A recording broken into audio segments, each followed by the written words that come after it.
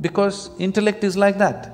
If you wake up in the morning, devoid of any… touching any life's experience within you, don't think about your child's face, do not think about the flowers in the garden, birds in the sky, nothing beautiful that ever touched you. Just think logically, you have to get out of bed, that's not a small feat.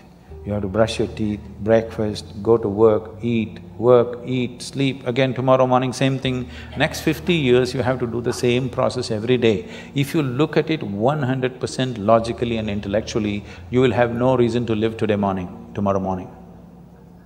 It's only if you're touched by something, suddenly it's worth living. If you're not touched by anything, then it's not worth living.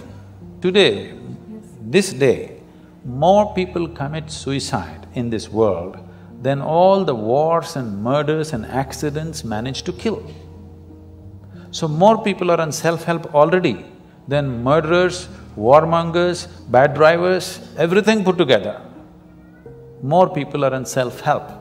And if this level of information onslaught continues on human mind, I know the nature of mind absolutely, because I know my mind. I know how it works, what it can handle, what it cannot do. I know it clearly what human mind is. That's the reason why uh, I don't have to uh, read people's books or listen to their entire thing. If they say one sentence, I know what their mind is. Because I know the structure of human mind entirely, otherwise I won't be who I am. So I'm saying this, if this level of information onslaught continues at the same pace or at higher pace, which is possible in the next few years, this will definitely lead to wanting to terminate yourself because there will be nothing to live for. There is no joy and excitement about anything. You please watch your children. By the time they're twelve, fifteen, they're just bored.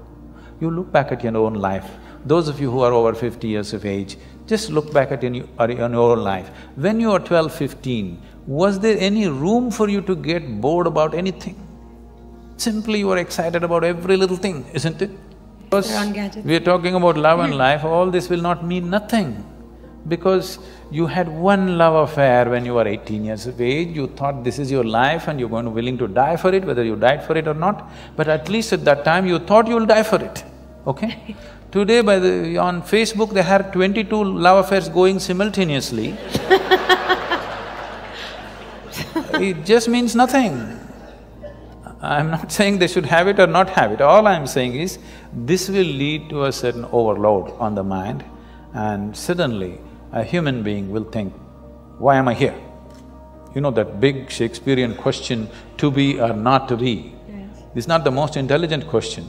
Unfortunately, people think so. This is only because you have not been touched by life. You are not a piece of life, you're just a psychological case. You're full of thoughts and emotions. You have not touched life at all. You think your thoughts and emotions are life? No. Your thoughts and emotions are the drama that you're creating in your mind. It is your cinema. You must be able to end it somewhere. If you do not know how to put the end, then it's going on endless cinema, you're going crazy. Life is happening here you know, your work is not life, your family is not life, your career is not life, your cinema is not life, your thought is not life, your emotion is not life. Life is happening here, everything else is accessories to life. Now, the frills of life have become larger than life itself. Life is entirely missed. If you touch life within you, then it's an explosion of energy. When such a thing never happens to you, because you have information about the whole cosmos on your phone screen. You will never be touched by life because too much information, too much thought. Even emotion is drying up, too much thought.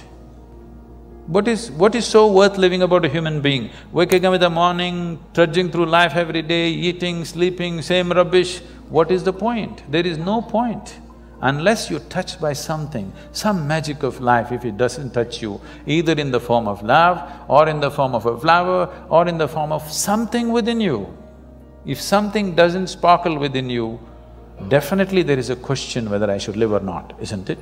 And we are taking humanity in that direction with this overload of information. Information is not knowing, information is just garbage collection. You just gather things which don't mean anything to you. You look smart in a tea party, but you're not smart with life, okay? If you're smart with life, you must be blissful, isn't it? if you're really smart with life, you must be joyful and blissful, isn't it so? You're only smart in a tea party because, you know, when somebody is talking something, you know the Galaxy Z twenty-two, what happens there? Everybody, wow. They can also open the internet and the same thing, you, you think this guy visited the galaxy?